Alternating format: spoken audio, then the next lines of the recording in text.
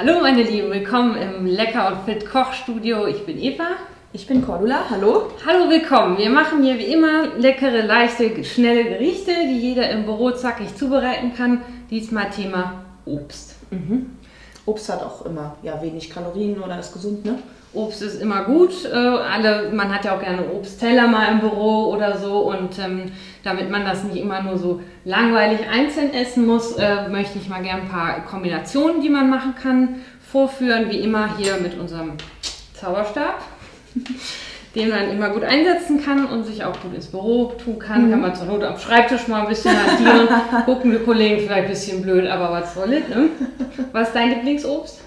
Mmh, Erdbeeren finde ich super. Wird jetzt ja auch wieder Erdbeerzeit. Ähm, ich habe jahrelang gar keine Bananen angerührt, interessanterweise. Esse ich erst wieder seit ein, zwei Jahren und werde seitdem immer ausgelacht, dass ich auf einmal wieder Bananen esse.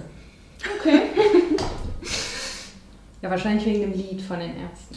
Was ich aber, was ich aber nicht mag, sind Sachen so, ähm, so Bananeneis oder Bananensaft oder so. Das ist mir zu sehr Banane. Okay, dann ist der Bananenpudding, den ich jetzt gleich machen werde, eher nichts für dich. Dann fange ich mal an mit dem Bananenragout, möchte ich es mal nennen. ähm, denn die Banane selber ist ja schon lecker und süß, aber wir möchten da gerne einen kleinen Kontrapunkt setzen, möchte ich mal mhm. sagen. Also wir nehmen die Bananen, schälen die Bananen. Ich habe ja mal gehört, man soll die eigentlich andersrum schälen. Ne? Stimmt, die Affen machen das auch so, ne? ja. da kann man noch was lernen von den Affen überhaupt. So, jetzt ist sie geschält. Haben wir sie hier. So. Und ähm, dann nehmen wir hier unser Messer und machen einfach mal hier so, ja, eben ganz normal so schneiden in kleine Stückchen, mundgerechte Häppchen, wie man es so mhm. nennt. Ne? Geht ganz schnell, kann jeder machen. Mehr als ein Brett braucht man dafür nicht. So, jetzt haben wir hier unsere Bananenhäppchen. Mhm. Und ähm, dann tun wir die mal in ein Schälchen. So. Und ähm, ist eine Banane eine Portion dann nachher? Bei mir schon. Wer natürlich mehr möchte, kann da auch gerne mehr nehmen. Aber ich finde eine Banane immer ganz gut, weil Reicht das macht so. ja recht satt. Und ähm, dann nehmen wir hier, wer sich fragt, was das hier ist. Das äh, äh wollte ich dich jetzt auch fragen. Sieht was, sehr exotisch aus. Das ist eine Riesen-Maracuja. Äh, die gibt es in den gängigen Supermärkten, sind die momentan sehr in. Ich persönlich muss sagen, dass ich eigentlich die kleinen vorziehe, mhm. die kleinen dunklen. Die sind doch eher so lila auch, ne? Ja, so lila, dunkel. Ähm, man macht die hier in der Mitte. Jetzt habe ich ganz glitschige Hände von der Banane. Erstich dich nicht mit dieser Mordwaffe da. Mann!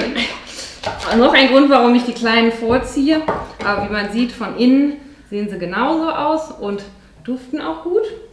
Ja, riecht nach Maracuja auf jeden Fall. Die kleinen, die haben oft ein bisschen mehr Witzig. Aroma. Wo kommen die her, weißt du das? Oh, keine Ahnung. Das, äh, das sollen die Leute googeln hier. So. Dann äh, pulen wir das äh, Fleisch hier raus sozusagen mit dem Löffel. Das geht ganz leicht. Lässt sich hier gut, äh, diese hellen Stege, die würde ich ähm, drin lassen. Aber sind jetzt auch nicht giftig oder so. Das sieht ja immer auch so ein bisschen nach so Alien. Es sieht ein bisschen schleimig aus. Also es gibt schönere Früchte. Aber äh, vom Geschmack her ist die Maracuja natürlich wirklich einzigartig. Und die nehmen wir jetzt sozusagen als Soße, weil die auch so leicht säuerlich aromatisch ist. Mhm. Und ich die das mal hier auch. Genau. Das ist so ein bisschen richtig schön ist gerade nicht. Ne? Schön ist anders, aber wir äh, rühren das um. Dann oxidiert auch die Banane nicht, weil die wird ja auch gerne mal so fies braun. Das mhm. passiert nicht, wenn die Maracuja da drauf ist. Ach.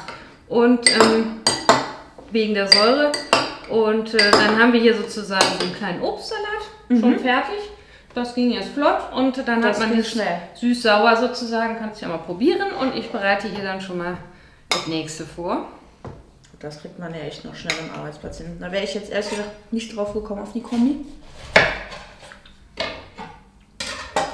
So. Cool. Lecker? Unerwartet so sauer, aber dann kommt süß Banane, ne? Ja. Nicht schlecht. Das kann man gut essen. So, den Löffel brauche ich wieder.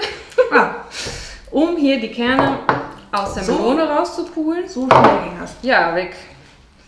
So, jetzt haben wir hier die Kerne rausgenommen. Mhm. das ist, äh, ich kann ja diese Melonenarten, habe ich mal schon Das ist äh, Galia-Melone, dann gibt es noch die Cantaloupe, das ist die gestreifte, die ist auch mhm. sehr lecker. Und dann gibt es noch diverse andere, die ich persönlich aber geschmacklich nicht so gut finde. Die Wassermelone ist auch nicht so mein Ding, weil ich nee. finde diese sehr aromatisch. Gibt es natürlich den Klassiker mit Schinken als Vorspeise. Aber jetzt machen wir ein bisschen was anderes.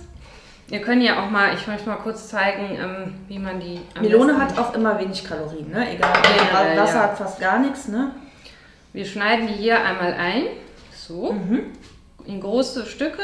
Und dann können wir das hier unten schön abtrennen, damit wir uns die schneiden. Drehen wir es einmal rum. Und dann haben wir hier die Stückchen. So, dann haben wir jetzt hier die Melone. Und auch da machen wir wieder ein Söschen sozusagen. Und dann nehmen wir jetzt hier fertig, gibt es in jedem Supermarkt oder auch bei DM oder so, Mango-Soße. Ich hoffe, ich mache jetzt hier kleine Schleichwerbung. Das ist einfach pürierte Mango. Könnte man auch selber, ne? Ich bin dann immer so enttäuscht, ne? Dann kauft man so eine Mango und dann ist so 90% ist so Kern, ne? So, jetzt darfst du nochmal probieren. Das ist jetzt schon fertig. Ging auch wieder schnell. Mhm. Ich zeig das nochmal hier. Also Melone mit Söschen. Und dann haben wir auch wieder einen schönen Salat. Und äh, wie gesagt, das schmeckt ja dann süß, ohne dass wir Zucker dran machen müssen. Wer mag, kann hier noch gerne ein paar Ja, ist auch kleine. eine gute Kombi. Ist auch diese, so diese Mango ähm, ist so, als Kind hat man das so aus dem Hipgläschen so ähnlich, ne? Ja, ja, so, da kommt es ran, ja. Mhm. Kann man natürlich auch mit Pfirsichmus, mit, kann man tatsächlich auch Hipgläschen nehmen, wobei ich dann eher so, so Püree oder bei Hipgläschen haben immer noch Reis mit drin. Ähm, das ist dann sehr gehaltvoll. Für die Babys Mhm. natürlich sinnvoll, für uns jetzt weniger.